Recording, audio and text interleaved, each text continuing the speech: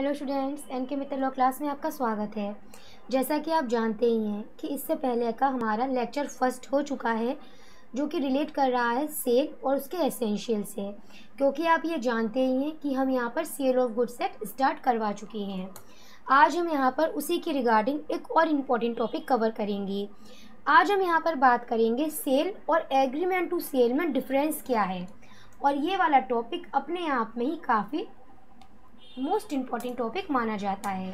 तो चलिए फिर अपनी आज की क्लास स्टार्ट करते हैं।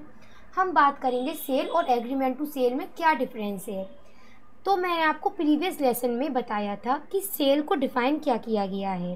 सेल को डिफ़ाइन करा गया है सेक्शन फोर के सबसेक्शन वन में।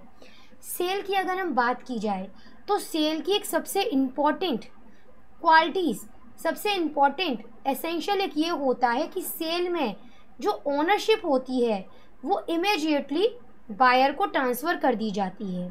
सेल में ओनरशिप बायर को इमीडिएट ट्रांसफ़र हो जाती है। पर वहीं पर एग्रीमेंट टू सेल में अगर हम बात करें तो वहीं पर एग्रीमेंट टू सेल में ओनरशिप इमीडिएटली ट्रांसफ़र नहीं होती है। एग्रीमेंट टू सेल में ओनरशिप फ्यूचर टाइम में या फिर कोई कंडीशन लगा दी गई है तो उस कंडीशन के फुलफिल होने पर ही ओनरशिप बायर को ट्रांसफ़र होती है। चलिए अब एक बार पहले हम इस बारे में अच्छी तरह जान लेते हैं। फ़र्स्ट ऑफ़ ऑल हम जानते हैं सेल के बारे में। एक एग्ज़ाम्पल से ही हम बात क्लियर करते हैं। ए है। ए कौन है? एक सेलर है। उसके पास एक वॉल क्लॉक है। वो यहाँ पर अपनी वॉल क्लॉक को ए एक सेलर है, वो अपनी वॉल क्लॉक यानी कि जो गुड्स है, इसका मतलब जो मूवेबल प्रॉपर्टी है गुड्स वॉल क्लॉक उसे वह यहाँ पर बायर को बेचने को तैयार होता है। यहाँ पर उसके बदले में बायर सेलर को प्राइस देता है कंसिडेशन एज अ प्राइस पाँच हज़ार रुपये में बात तय होती है। यहाँ पर यह कॉन्ट्रैक्ट ऑफ़ सेल है, यहाँ पर इसमें जो ए है, उसने जब इनके बीच में ये कॉन्ट्रैक्ट ऑफ़ सेल हुआ, उसी टाइम पर जो ओनरशिप है, जो प्रॉपर्टी इन गुड्स है, उसी टाइम पर वो बायर को पास आउट हो चुकी है इमीडिएटली बायर को ओनरशिप पास हो चुकी है। इसे हम कहेंगे कॉन्ट्रैक्ट ऑफ़ सेल पर वहीं पर अगर हम बात करें इस संबंध में अब कि एग्रीमेंट टू सेल क्या है तो उसको समझने से पहले, मैं उसका एग्ज़ाम्पल बताऊँ, उससे पहले आप एक बार इसकी डेफिनेशन को रीड करेंगे। Where the transfer of property in goods is to take place at the future time और subject to some condition thereafter to be fulfilled the contract is called an agreement to sale भाई agreement to sale मतलब जिसमें ownership future time में future time में pass out होने की बात हो रही है। किसी कंडीशन के फुलफिल होने पर पास होने की बात हो रही है। और यहाँ पर जब वो फ्यूचर टाइम आ जाएगा, तब वहाँ पर वो एग्रीमेंट टू सेल सेल बन जाएगा। जब वहाँ पर वो कंडीशन फुलफिल हो जाएगी, तभी एग्रीमेंट टू सेल सेल बन जाएगा। बहुत सिंपल एग्ज़ाम्पल समझ लीजिए इसका। जैसे कि ए और बी हैं, दो पार्टीज़ हैं। यहाँ पर ए और बी एक सौदा करते हैं। कि जो ए है, वो अपनी कार बी को पाँच लाख रुपए में बेचने को तैयार है। ये हो गया सेलर और ये हो गया इसमें बायर कि वो अपनी कार उसे पाँच लाख में बेचने को तैयार है। पर यहाँ पर इसमें कंडीशन लगा दी गई है कि जो सेलर है, वो अभी इस कार पे थोड़ा सा काम और करे और इस कार में थोड़े अच्छे फीचर्स और इंस्टॉल कर दे। तो यहाँ पर एक कंडीशन लग गई ना।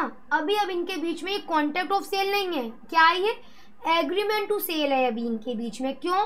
क्योंकि जब यहाँ पर वो सेलर उस कार में जो बताए गए फीचर्स हैं, वो उसमें इंस्टॉल कर देगा। जब वो कंडीशन फुलफिल कर देगा, तभी तो ओनरशिप बायर को पास होगी। उससे पहले तक अभी यहाँ पर इसे केवल एग्रीमेंट टू सेल माना जाएगा। एक और एग्ज़ाम्पल समझो। ए कहता है बी से कि अगले साल उनके फ़ील्ड में, उनके खेत में जो भी फ़सल होगी, वह उसे बी को बेच देगा। कब बात हो रही है? फ्यूचर टाइम में। अभी इनके बीच क्या एग्रीमेंट है? एग्रीमेंट टू सेल बनेगा ये। जब वो फ्यूचर टाइम आएगा, तब वहाँ पर ओनरशिप ट्रांसफ़र होगी, तब वो एग्रीमेंट टू सेल सेल में जाएगा।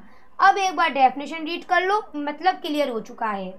Where the transfer of property मैंने पहले भी बता दिया था।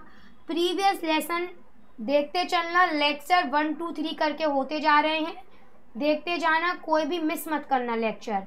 Where the transfer of property जहाँ पर ओनरशिप जो ओनरशिप है transfer of property in goods जो ओनरशिप है वहाँ पर is to take place at the future time clear है?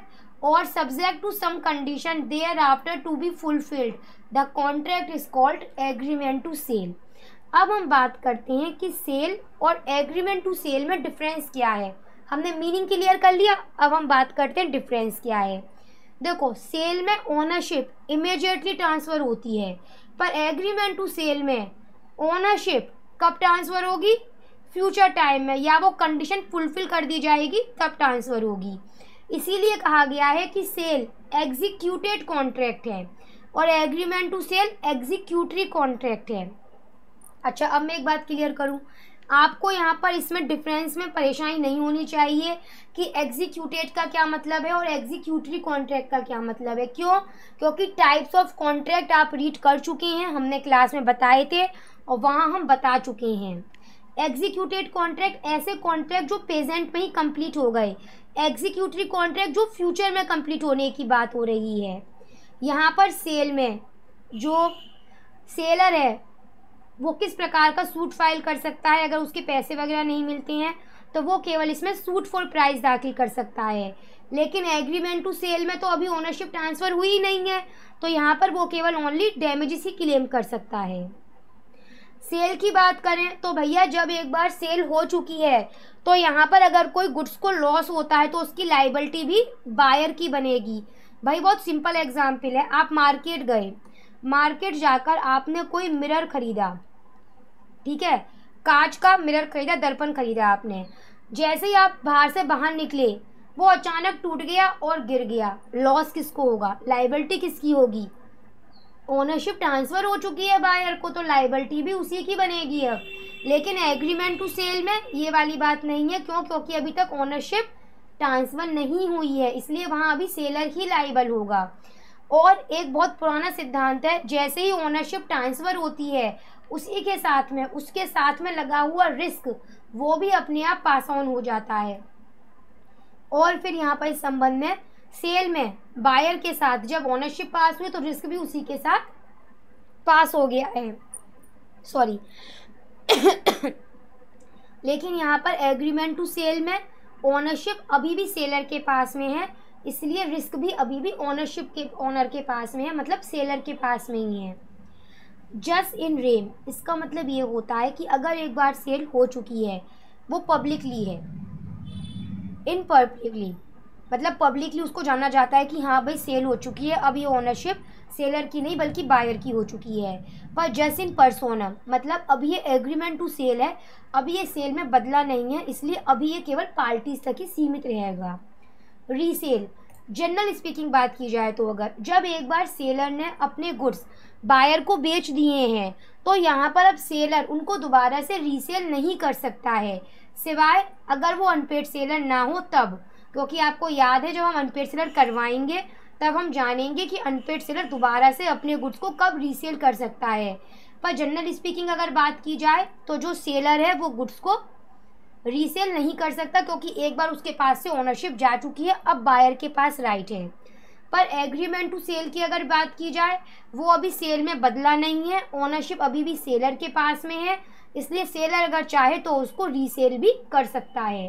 तो ठीक है स्टूडेंट्स इसी के साथ अपनी आज की क्लास कंप्लीट करते हैं।